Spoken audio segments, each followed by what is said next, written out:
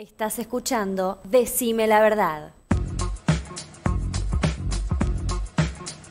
13, 15 minutos, estamos en Decime la verdad, políticamente rock. Vamos con la segunda nota del día. Estamos con Gisela Caputo, ella es actual directora general de Intervención Territorial en la Subsecretaría de Seguridad Ciudadana del municipio de Bahía Blanca y precandidata ahora a cuarta concejala por Juntos. ¿Cómo estás, Gisela? ¿Qué tal? ¿Cómo están? Buenos días. Buen día. Eh, ¿Almorzaste ya? No, todavía no. Todavía buen Día. Bueno, acá mi compañero Nacho Ruspuru ya comió ocho empanadas, así que para nosotros sería buenas tardes. Ya arrancamos con ¿Eh? la difamación tan temprano. Eh, una, una y cuarto y ya me estás eh, endilgando a mí todas las que te fuiste bajando. Pero bueno, igual agradecemos al señor Palma y acaba un mensaje para Reguito. Sí, Ojo, Reguito, porque Palma acá... trajo tres docenas de empanadas. Sí. Gisela, ¿qué, qué largo que es el, eh, el título del cargo que ocupás actualmente. Sí, vos sabés que cuando empecé en el 2017 en el área de seguridad era todavía más largo, era directora general de participación ciudadana y prevención para la prevención del delito. Son títulos, la verdad que en realidad mi trabajo en el área tiene que ver con fundamentalmente con esto, ¿no? Con trabajar la participación de los vecinos en todo lo que tiene que ver con la seguridad ciudadana y, desarrollar acciones y estrategias que ayuden a prevenir situaciones conflictivas o puntualmente de delito.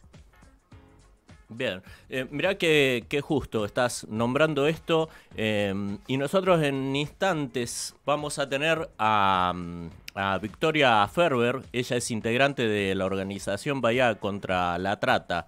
Eh, me, da para, me das pie justamente para preguntarte cómo interactúa el municipio con, con ellos.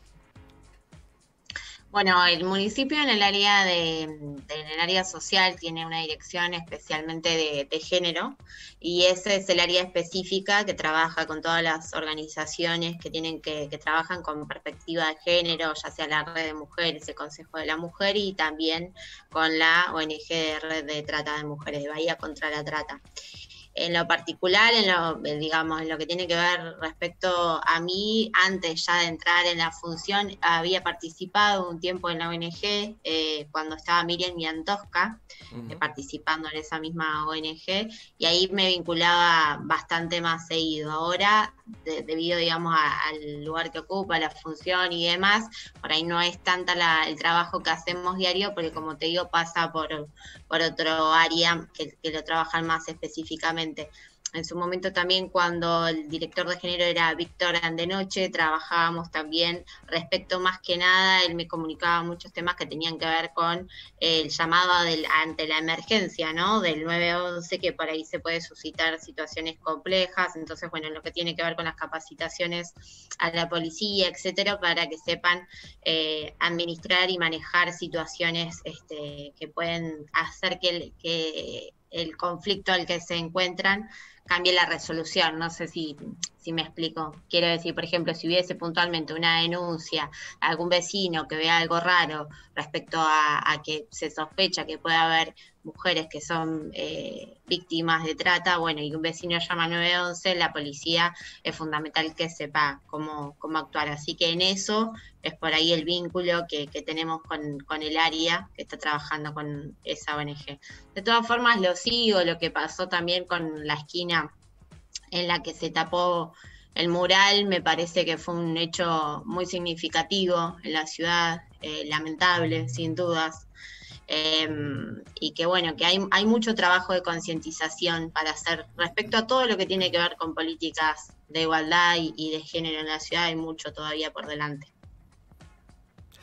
¿Qué tal, Gisela? Nacho Rupuro te saluda, ¿cómo estás? ¿Cómo eh, estás? Bien, bien. Eh, recuerdo, ya ahí te llevo ya directamente a la, discusión política. Yo recuerdo que mm, meses atrás, eh, cuando fueron las elecciones partidarias de la UCR, desde el espacio opositor, al de ustedes los acusaban de no pelear mayor protagonismo dentro del frente que era Juntos por el Cambio, ¿no? Eh, hoy, no en Bahía, pero a nivel provincial, la UCR salió fuerte a disputarle poder al PRO dentro de este mismo frente. ¿Qué es lo que cambió? Sí, a ver, a mí me parece que en, la, concepción de organización del frente, que integramos muchos partidos, que fundamentalmente eh, desde el inicio está la coalición cívica, el radicalismo y el PRO, y después se fueron sumando más partidos, no es fácil la consolidación de un frente y un trabajo en conjunto. De hecho, para en, los mismos partidos políticos muchas veces no es fácil el trabajo, el, trabajo en equipo, el consensuar ideas, en salir adelante. Y mucho más, imagínate, en un frente con este, partidos que muchas veces no, no comparten formas quizás, o, bueno, o políticas en, algún caso. Particularmente y especialmente en el caso de Bahía Blanca, la, verdad que eh, en el 2015, bueno, yo era presidenta del partido cuando se, consolidó el acuerdo en Gualeguaychú y demás. Y el intendente siempre tuvo muy buena predisposición para con el partido y, y, a las personas que él consideró que por su perfil técnico, profesional y político podía sumar a la gestión, lo hizo y bueno, de hecho uno de los de los correligionarios que desde el inicio de la gestión sigue acompañando al intendente que es Emiliano, es significativo de esto, también hubo delegados, también hubo directores, etcétera.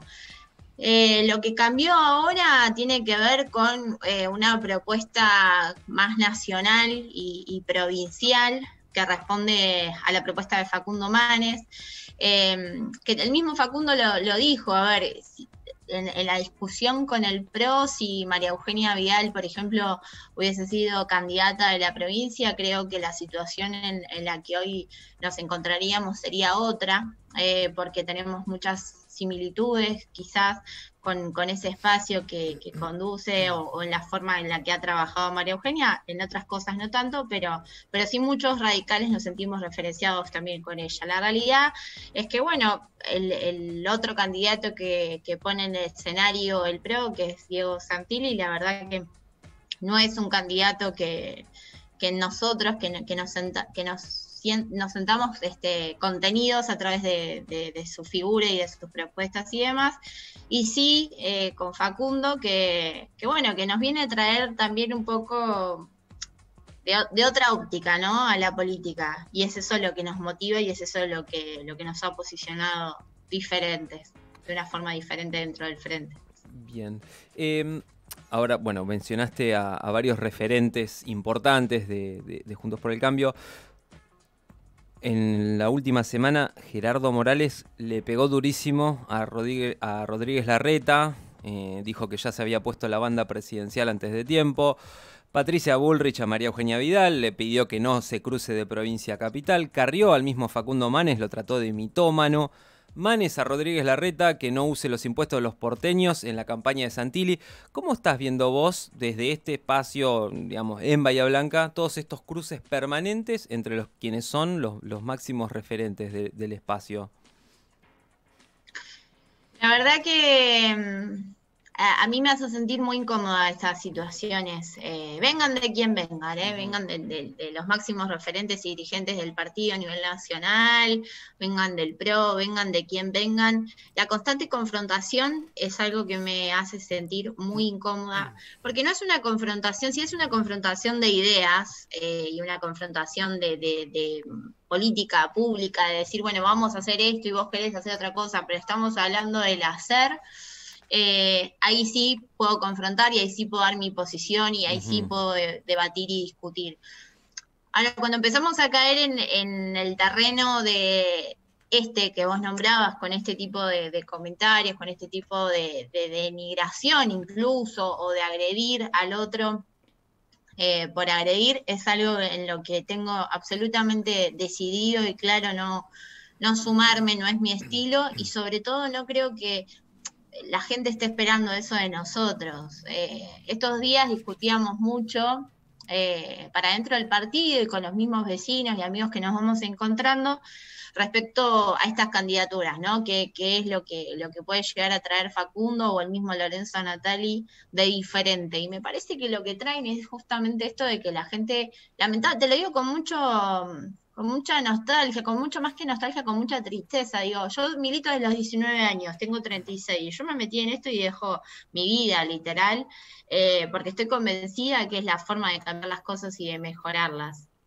Y cuando escucho que, que, la gente está harta de nosotros, de los políticos, y que no quiere saber más nada, y que está muy defraudada, y, y la verdad que la mayoría de las veces con razones, eh, porque muchas veces, a veces eh, no, no estamos a la altura de, las circunstancias. Entonces, prenderme, sumarme a, estas clases de comentarios, eh, aunque sea dando mi opinión, ¿no? De que si es así, si Santilli va o no va a utilizar los recursos de la capital en Bahía Blanca, si la reta se está poniendo o no la banda presidencial, etcétera, es como seguir sumando a, eso, a que no me parece que la gente esté esperando de nosotros esas situaciones. Creo que espera y quiere escuchar de nosotros otro tipo de, otro tipo de cosas, propuestas, saber qué vamos a hacer, eh, etcétera. Bueno, eh, me das pie justamente al principio de, de Decime la Verdad. Eh, pasamos al aire una encuesta que hicimos en Villa Mitre, Villa Loreto, Barrio Pacífico y el centro, en el que le preguntábamos a la gente si eh, conocía la cantidad de, concejales que integran el Consejo Deliberante de Bahía Blanca y si nos podían dar al menos dos nombres de, quienes ocupan esas 24 bancas. Eh, la mayoría no, mm, no contestó, no pudo responder qué cantidad de, integrantes eh, ocupan eh, el Consejo Deliberante y solo nos nombraron a cuatro concejales que ellos eh, conocían. un poco tiene que ver con esto que, que vos estás comentando, ¿verdad? Hmm. Sí, absolutamente. Me parece que mm, Mira, nosotros en, el trabajo que hacemos con Emiliano en la, en la Secretaría, eh, nos ponemos el desafío de todos los días, todas las tardes, de lunes a viernes, ir a un barrio diferente. Ya sea que nos convoquen los vecinos o si no, nosotros generar las, reuniones. Y por supuesto que se hace muy cuesta arriba en un momento, porque vos imaginate que a veces por día ponemos eh, incluso hasta dos o tres reuniones. Pero es lo que te permite seguir estando cerca y estar escuchando y no desconectarte. Creo que a veces la política te termina desconectando, ¿no? Entonces eh, terminás envuelto en todas estas situaciones de me dijo, te dije, que fíjate, que cuídate, que el otro, que no sé qué, y en esa cuestión del, ego, ¿no? También que hay, que hay en esto de la política, de querer ascender y de querer ser, y te olvidas el, el para qué, el para qué, qué fue esa eso, ese inicio en esto, por lo menos en, la, en, mis compañeros, mis correligionarios, en mi equipo, en mi grupo, lo tenemos claro por qué hacemos todo esto. Quizás hay gente que se, que se involucra en la política también porque lo ve como, como una alternativa de, de trabajo, como una alternativa de hacer plata, la verdad no lo sé. Entonces, creo que cuando vos tenés claro el sentido de para qué y por qué haces esto y tratás de todos los días recordarlo y trabajarlo en ese sentido, le estás brindando otra, otra cosa a la gente. Y entonces ahí te puede conocer eh, más de cerca. Creo que por lo menos a mí lo que me, entusiasma mucho de poder llegar al Consejo Deliberante, algo que venimos trabajando hace mucho en el partido y desde que estoy en la juventud, etcétera, es justamente para esto, no es para estar transcurriendo tanto tiempo adentro del Consejo Deliberante, sino para estar eh, en la calle con la gente. Digo, no me parece no hay otra vuelta con, de eso, pero porque además eso requiere un compromiso que cuando vos estás con ellos también tenés que eh, tomar sus necesidades y ver y canalizarlas y ver qué tipo de respuesta también les, les podés dar. Digo, no, no es solo ir, poner la cara, saludarlos, tomar un mm. mate, un café, lo que sea, compartir un tiempo, sacarte una foto y, listo, y no volver más. Es asumir eh, una, una, constante relación y un compromiso de un ida y vuelta y una respuesta. Y eso insume mucho tiempo y me parece que el camino es ese. Así que a mí por eso cuando ustedes me escribían y me decían si la había escuchado la encuesta, que, que, no, porque estaba con mm. el teléfono de trabajo mil, eh, no me sorprende, creo que sí, que es así, que no, los vecinos de Bahía Blanca tienen, y, de la Argentina en general, tienen otro tipo de preocupaciones eh, que, saber quiénes son los concejales y qué cantidad hay, y no, no hay que juzgarlos, eh, tenemos que al contrario sentir la máxima responsabilidad en nosotros de, de que eso cambie, ¿no? Y de que mejore nuestro sistema democrático.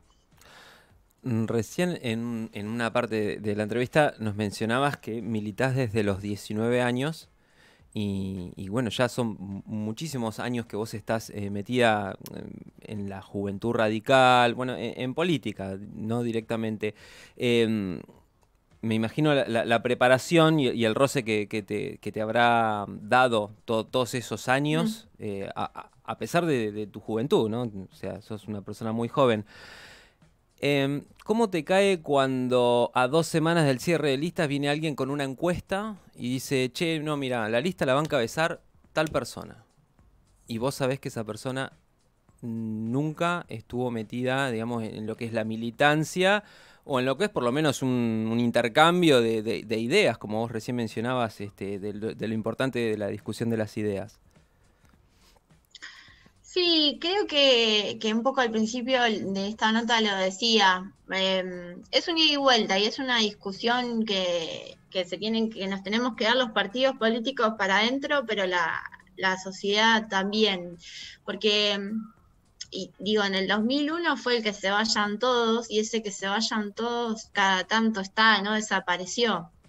Y tiene que ver con esto que te decía antes, la gente realmente, los vecinos, los argentinos, los bonaerenses, los bayenses, no se sienten representados por la política. No sienten que quienes hacemos política, más allá de que lo estemos haciendo hace muchos años y que nos formemos y demás, eh, y a, y a, pesar de que hay excepciones, ¿eh? digo, hay gente que sí, eh, seguramente se siente representada con la forma de hacer política de Cristina Kirchner, de, Alberto Fernández, de, no sé, Federico Subiele, de Héctor Gay, de etcétera. Quien vos quieras nombrar, sí, seguramente hay gente que se siente representada, eh, contenta y satisfecha por, por su forma de hacer política, pero la verdad es que la mayoría de la gente no, la mayoría de la gente, y más con estos dos años de pandemia, está muy enojada con, la política.